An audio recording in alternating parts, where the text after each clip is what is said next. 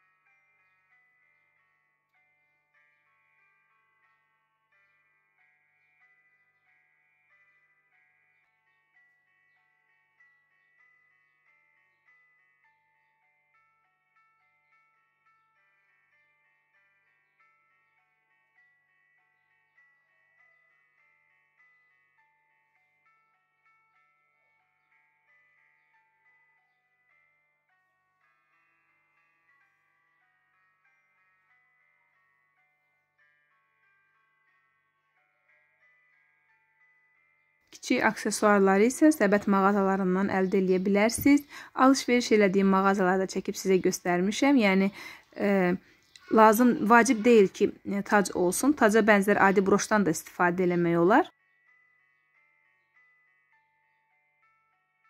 Mən xonçamızın korpusunda həm kardon hissədən istifadə elədim, həm pianodan istifadə eləyəcəm.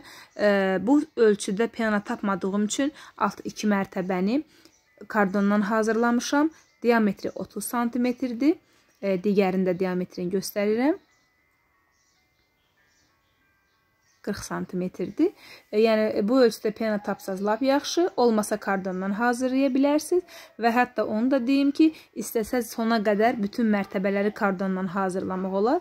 Yalnız 2 mərtəbəni deyil, yəni mən e, üst mərtəbələrə pena yerləşdirəcəm, onun da əvəzinə kardon yerləşdirmək olar. İlk öncə səbətimizi bəzəməyə başlayıram. Əlimdə belə böyük gül budağı var. Üzərində güllər var idi. Digər xonçalarda istifadə elədim. Budağını da saxladım. E, belə xonçalarda mənə lazım olur.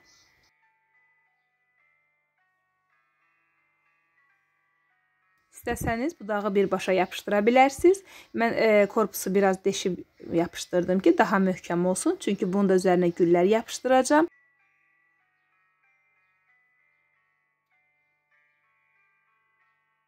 Və e, penoplastları dediyim kimi e, 3 mərtəbə olaraq sonuncu mərtəbələrdə istifadə eləyəcəm.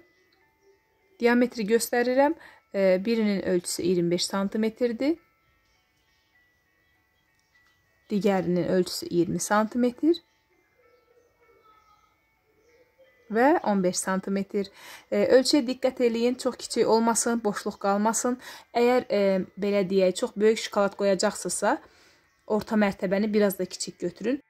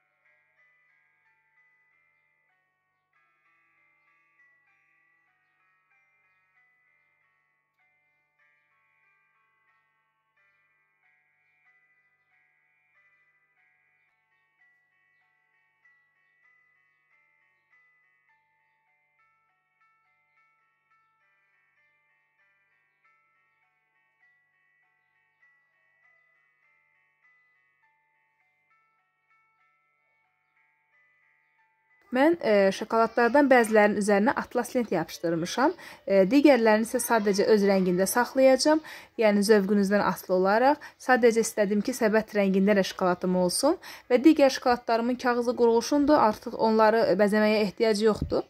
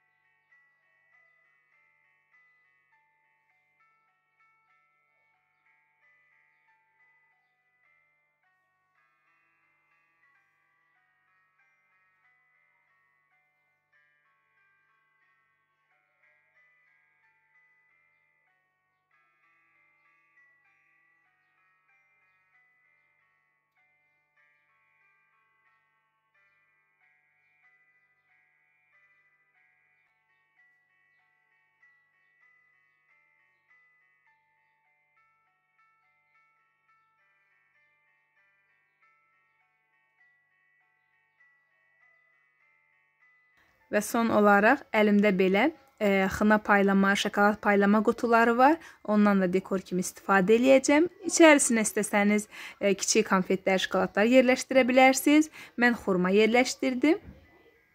Kənar hissələrə bir az kley vuracağam ki, qapağı açılmasın. Yəni tam kənar hissədən.